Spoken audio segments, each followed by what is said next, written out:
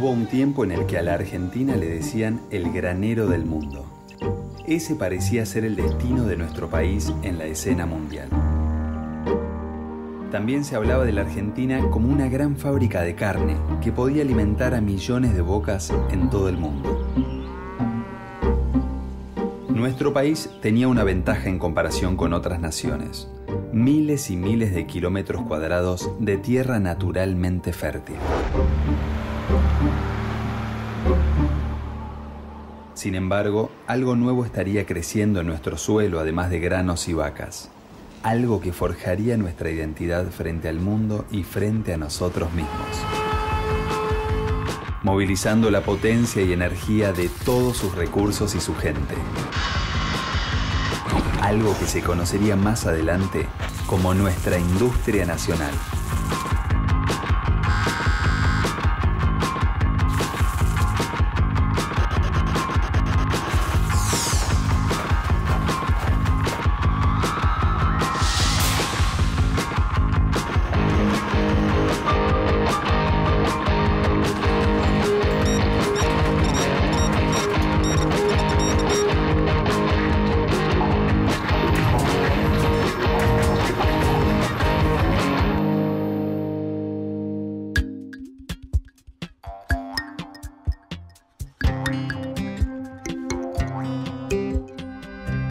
A fines del siglo XIX, las fábricas inglesas irrumpieron al territorio nacional y pusieron fin al viejo esquema artesanal de la colonia.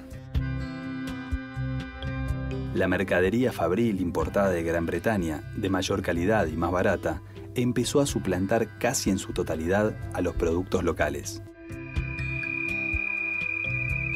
Lo que se denomina normalmente el modelo exportador es el resultado de un largo proceso que se inicia en la colonia misma. Lo que pasa es que en 1880 pasan dos cosas fundamentales. Una, la, la conquista del desierto, la consolidación del roquismo. El transporte a vapor está bajando los costos, con lo cual empieza a llegar el trigo y la carne masivamente a Inglaterra. La Argentina es muy exitosa exportando bienes agropecuarios y en la medida que crece su comercio exterior, crece también el volumen de sus importaciones de bienes elaborados, ¿no es cierto? Se inserta de alguna manera en la División Internacional del Trabajo, exportando bienes agropecuarios y eh, importando bienes eh, manufacturados surgidos, sobre todo como consecuencia de los procesos de industrialización que están teniendo lugar en el hemisferio norte.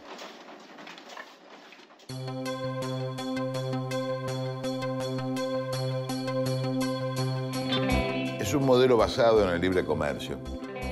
De oligarquía terrateniente, busca insertarse como un apéndice del capital industrial inglés y teme fundamentalmente que si nosotros hacemos políticas proteccionistas como hacía Estados Unidos, Canadá o Australia, los ingleses nos trabasen el comercio.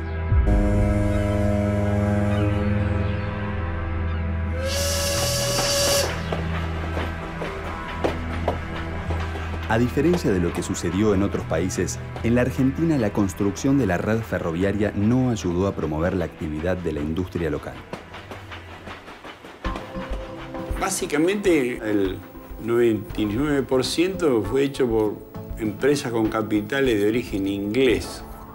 El modelo agroexportador y el trazado de las líneas ferroviarias son fruto de- del mismo proceso, por lo tanto van unidos porque en ese momento el sistema económico nacional se apoyaba solamente en exportar carne y granos. La red ferroviaria argentina tiene una alta densidad de ramales que se utilizaron para la explotación de la agroganadería, que era la base del sistema económico en esa época, con salida en el puerto de Rosario, en el puerto de Buenos Aires y en el puerto de Bahía Blanca. La, curva de, de producción de exportaciones graneras aumenta exponencialmente en forma paralela a la longitud de la red ferroviaria.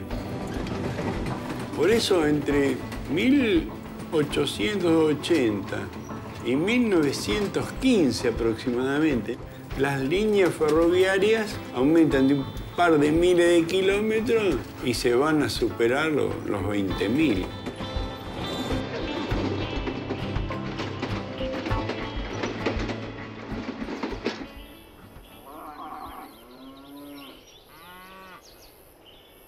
entre las inversiones industriales más importantes y entre las inversiones extranjeras más destacadas ocupa un lugar de primer orden el de las inversiones en lo que nosotros llamamos frigoríficos, es decir, grandes empresas procesadoras de carne que acentúan el perfil exportador de la economía argentina, puesto que el grueso de la producción que se procesa, se faena y se sube a barcos frigoríficos va a ir dirigida cada vez más al mercado británico.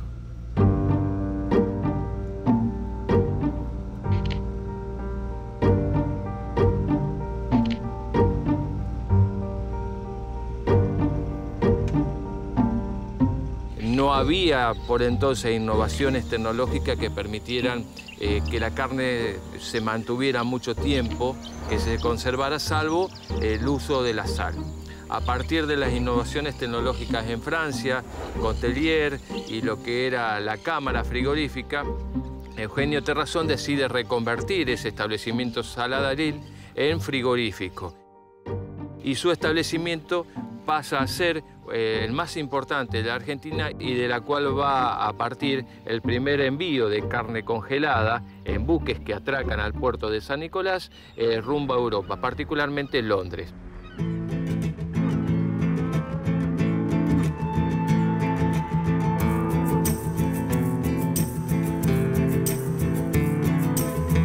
Primeros frigoríficos, eh, Terrazón y demás, son empresas relativamente pequeñas. Esa etapa es una etapa relativamente experimental del comercio internacional de carne.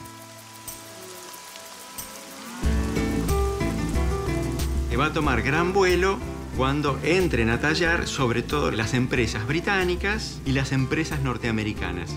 Esas van a desplazar a las primeras que se habían organizado sobre todo sobre la base de capitales anglo-argentinos. Es decir, este es un negocio en el cual se va a producir un proceso de gran concentración. Y esa gran concentración tiene que ver con que el negocio es particularmente rentable para las empresas que controlan no solo la producción, sino que controlan también el transporte en sus propios barcos y la venta en sus propias redes de carnicerías en los mercados norteamericanos es uno de los ejemplos más tempranos de empresas multinacionales integradas.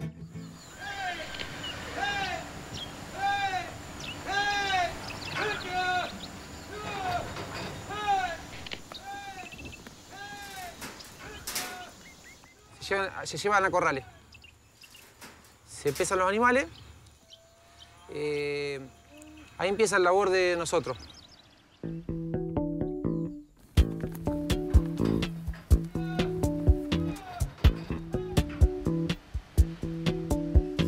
Nombre es Martín, eh, me tocó el trabajo de encargado de faena. Lo primero que se hace es, una limpieza previa para que el animal entre lo mejor posible a, faena, lo más limpio posible. Y asimismo, eh, los, muchachos cuereadores, al estar eh, mojado el cuero, se puede hacer un mejor cuereado para que los cuchillos rindan mejor. Y después ya vendría la parte limpia, que ya cuando el animal no tiene más el cuero. Pasa por distintos puestos hasta que el animal se hace el último lavado y entra a cámara para llegar a carnicería.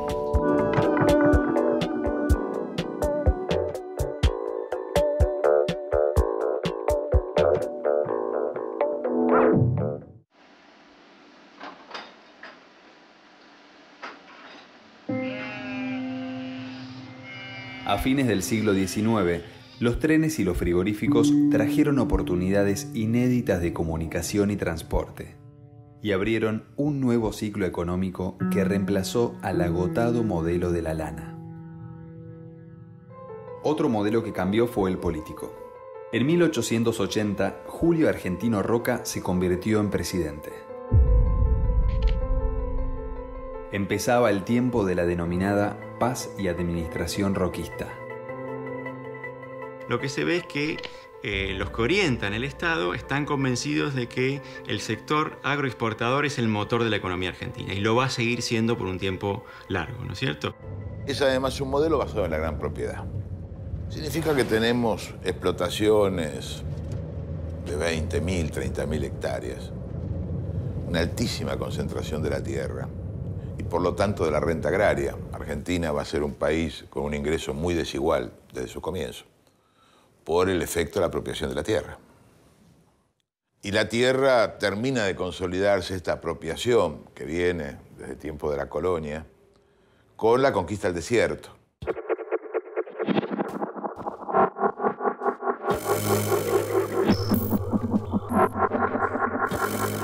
Son 15 millones de hectáreas bien situadas que se reparten entre unos pocos.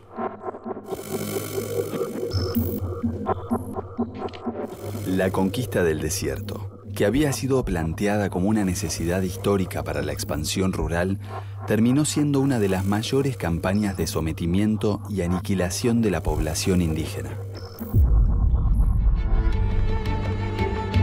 La economía comenzó a crecer y ese auge fue generando un mercado interno que dio pie a una intensa actividad fabril.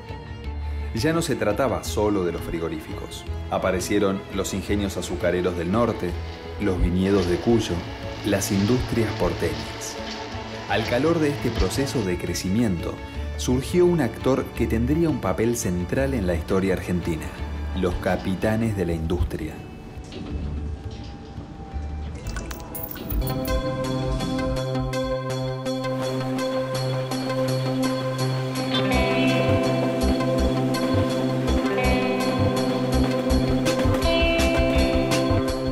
Cuando uno mira el tejido industrial argentino que comienza a cobrar forma en el cambio de siglo y se consolida en las primeras décadas del siglo XX, se advierten dos o tres tipos de empresas.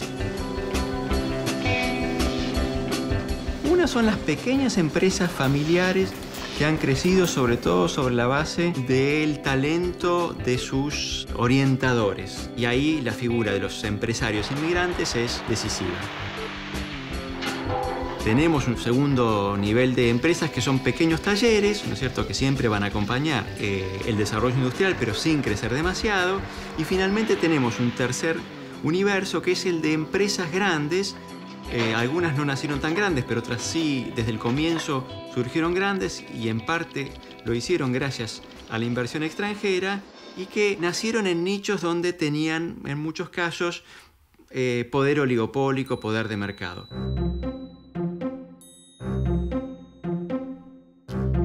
Surgieron entonces los capitanes de la industria, un grupo de emprendedores que descubrió que la actividad fabril podía ser una fuente de beneficios tanto o más interesante que otras áreas. Eran los principales inversores del capital, los propietarios de las mayores empresas, los voceros del sector. Como consecuencia del crecimiento de la demanda de la cantidad de consumidores, de la, del poder adquisitivo de los consumidores, empiezan a transformarse los procesos productivos y a dar lugar a la emergencia de las primeras grandes chimeneas.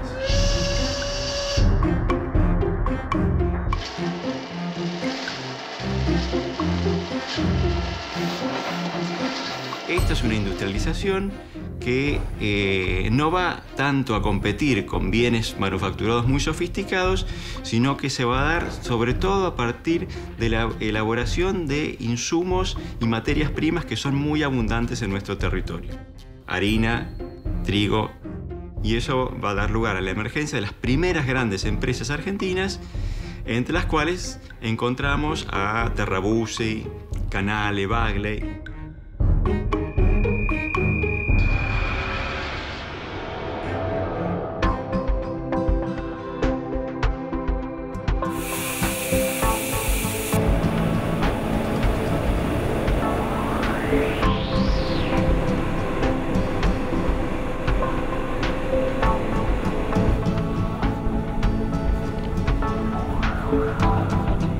ese banco de cilindro que vieron eh, se llama primera rotura.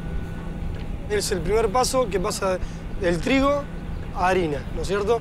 por eso la primera rotura es donde se muele el, grano de trigo y de ahí en adelante ya pasa un proceso de separación del trigo hasta que bueno, queda harinas por un lado y afrechillo por otro.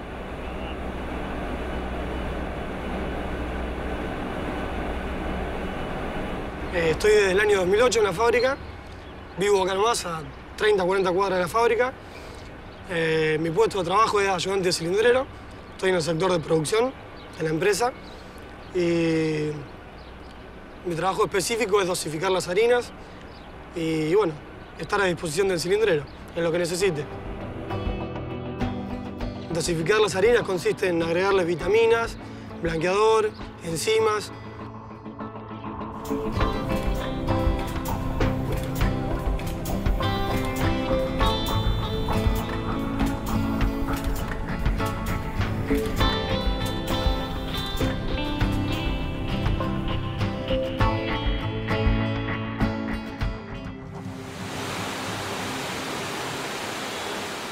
La expansión del modelo agroexportador que regía en la economía desde hacía varias décadas parecía no tener límites.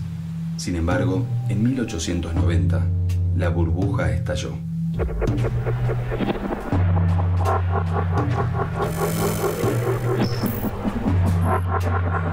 La crisis, conocida como pánico de 1890, marcó un punto de inflexión.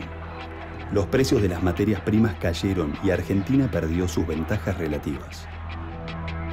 La revolución del parque desencadenó la renuncia del presidente Juárez Selman. Y en su lugar asumió Carlos Pellegrini, que tenía una mirada más industrial. Es uno de los que cree que con, la, con el sector agroexportador no basta, ¿no es cierto? Y ahí entra el fenómeno de proteccionismo, ¿no es cierto? La política económica proteccionista, que significa que no necesariamente hay que afectar los intereses exportadores, pero sí crear condiciones más propicias para que otros sectores se desarrollen y en particular el sector industrial. Lo que va a hacer Carlos Pellegrini es vestirse con un traje de tela argentina y caminar por Florida para mostrar que en la Argentina se podían hacer telas. Es un proyecto de industrialización, pequeña propiedad y democratización.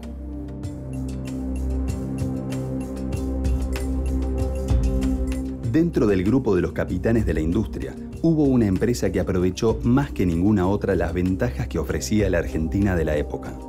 Bunge y Born. Una empresa que gracias a la ayuda de algunos buenos contactos se convirtió en un paradigma del modelo agroexportador. Su influencia atravesaría todo el siglo XX. Lo que se va haciendo es mandando miembros de la familia a distintos países para que establezcan, digamos, lo que hoy llamaríamos filiales. ¿Sí? Un hijo va a Sudáfrica y arma un imperio, otro viene acá y arma otro imperio, asociado con su cuñado, que es Bon.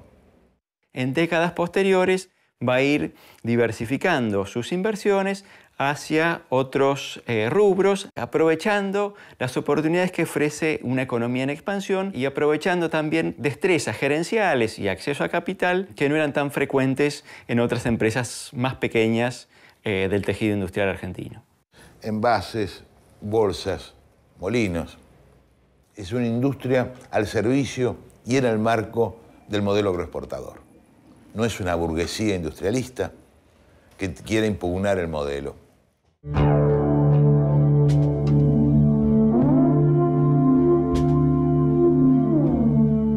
Mientras aquel modelo agroexportador entregaba enormes ganancias a los sectores vinculados a la oligarquía, la clase trabajadora soportaba pésimas condiciones de trabajo.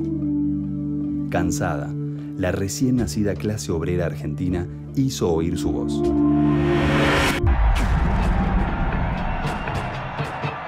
Según un estudio, los sectores más combativos son los que tienen algún poder de negociación que está vinculado a su posición en la estructura exportadora.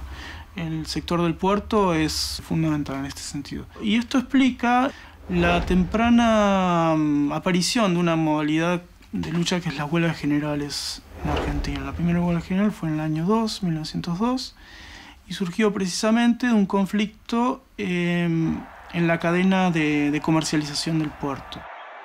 Las huelgas en esa época eran grandes pruebas de fuerza entre capitalistas, trabajadores y Estado que, se dirimían a lo largo de días, meses eh, y generalmente con un saldo represivo que va dando lugar muy paulatinamente a negociaciones paritarias o eh, cierta apertura institucional hacia ese tipo, hacia los gremios que en realidad tenían la capacidad de fuerza.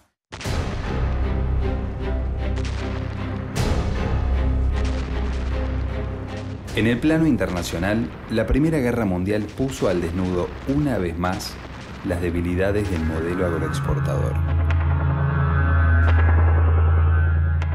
Se interrumpe el mercado mundial, de la Primera Guerra, el desarrollo industrial es tan limitado que lo que se produce es una contracción brutal de la economía.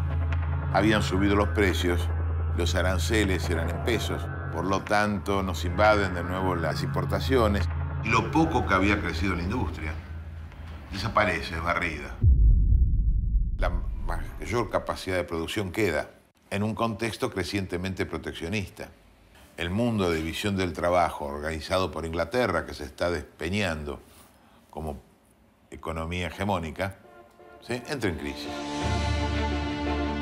La crisis del 29 también hizo su parte, debilitando a un modelo agroexportador que ya tenía fecha de vencimiento. La respuesta de las autoridades económicas argentinas es eh, anudar lo más estrechamente posible lazos con Gran Bretaña, ¿no es cierto? Proteger ese mercado que era fundamental, sobre todo para los productores de carne.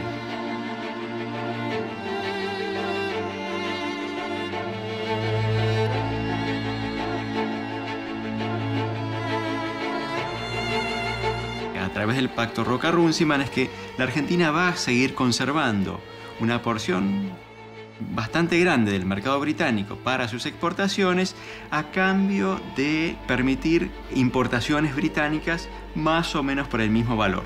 Le bajamos los aranceles a 235 productos ingleses. Nos obligamos a mantener las importaciones ingresas de carbón para los ferrocarriles y le damos el monopolio del transporte a través de la corporación. Es un pacto realmente vergonzoso, pero festejado por la mayor parte de la clase dominante. Y Argentina iba a pagar caro esta fidelidad a un imperio en decadencia.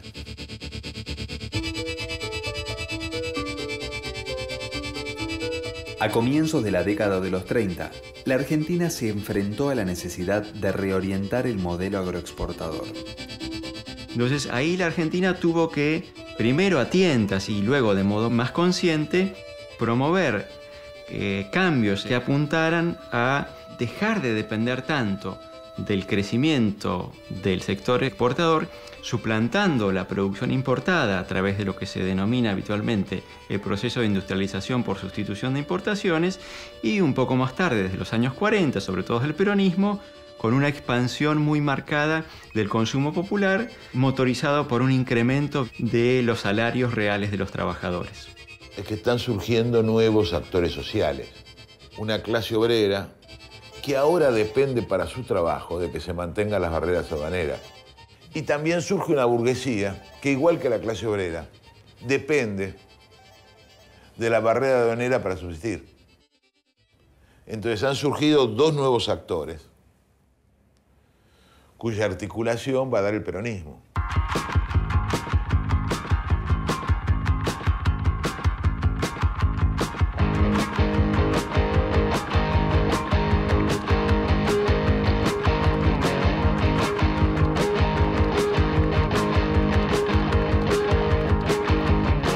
El modelo basado en la exportación de alimentos y materias primas a cambio de la importación de bienes industriales mostró sus debilidades y su excesiva dependencia externa. La crisis mundial y el derrumbe de la demanda europea terminaron con el modelo agroexportador que desde 1880 imperaba en la Argentina. El país se preparaba para nuevos cambios, los primeros pasos de la industria nacional.